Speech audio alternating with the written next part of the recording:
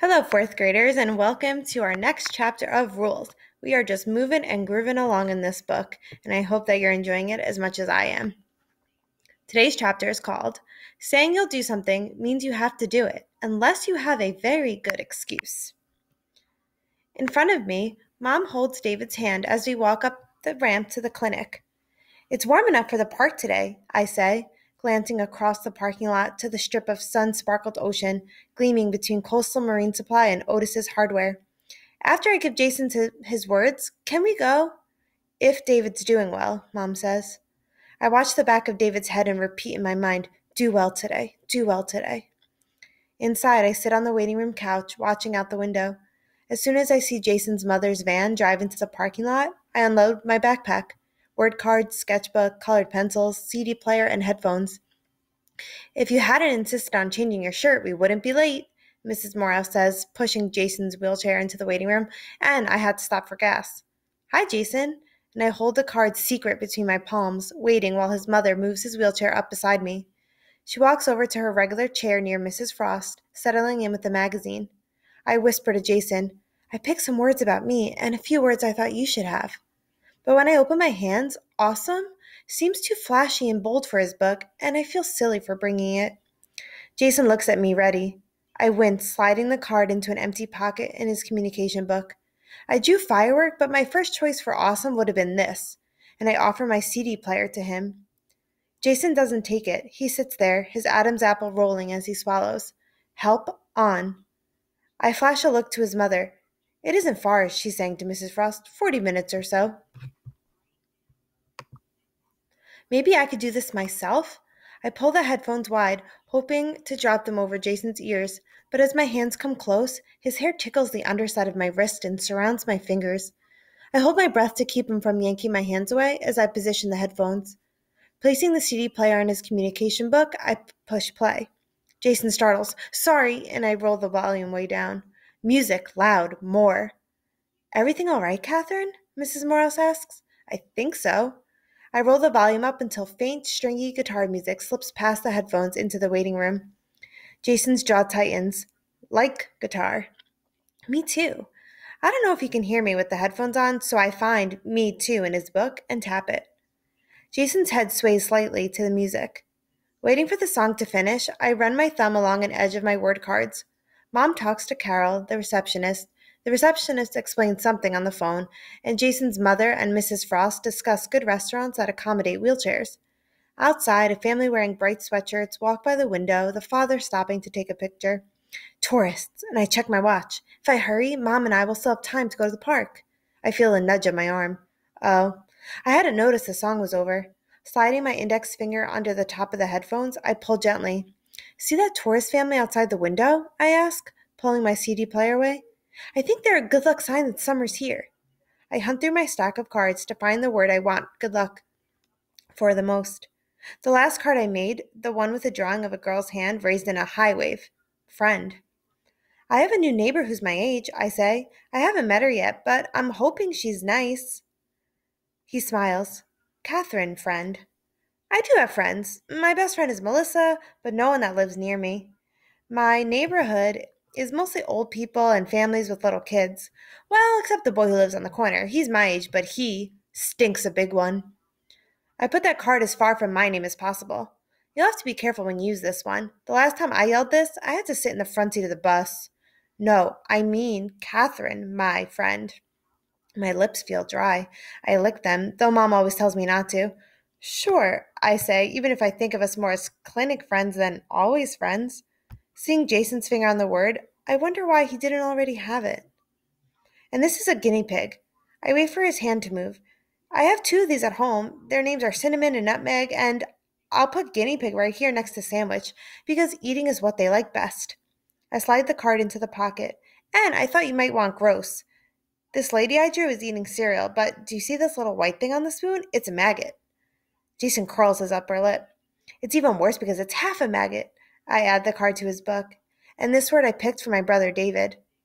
My other cards have the words printed small at the top, but the tall block letters of rule fill the card. David loves rules, so I use those to teach him. What rule?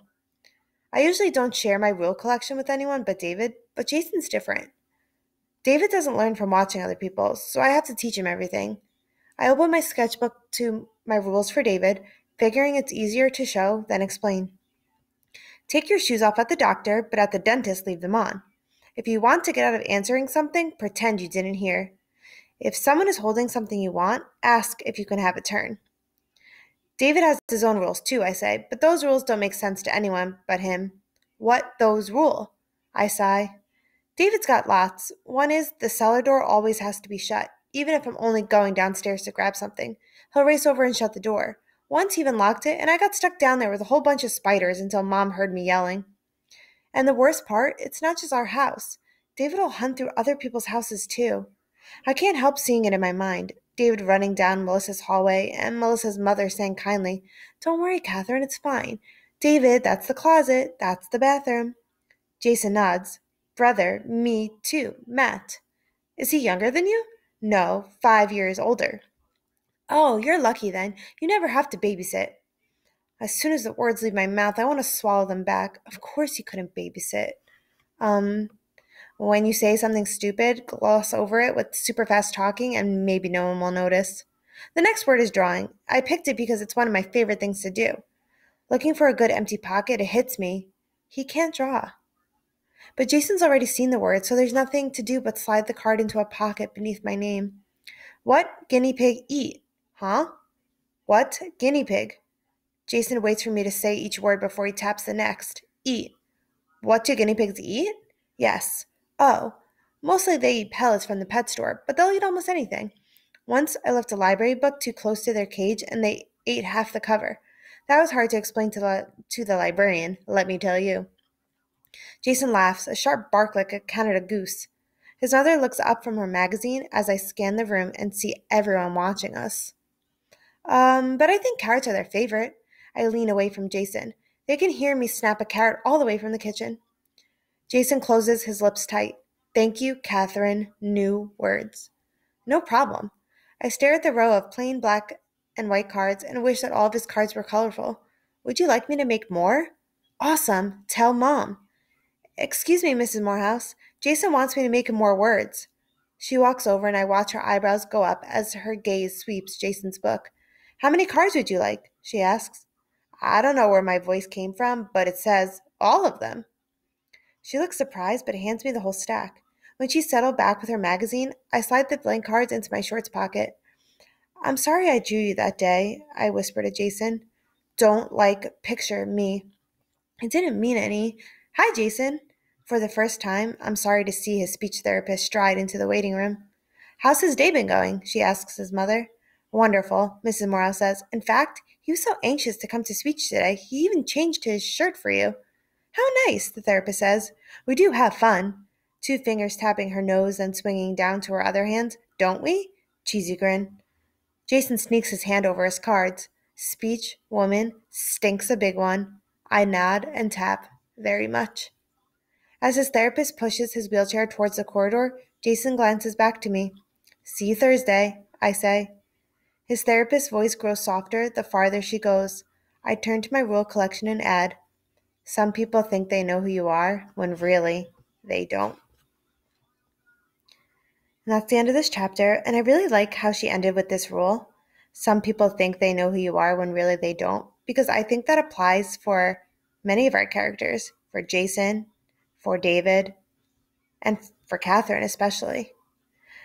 Today, we're just going to talk a little bit about these issues that are arising in our book that we continue to see Last chapter, we learned that Catherine is really struggling with the fact that people don't understand her.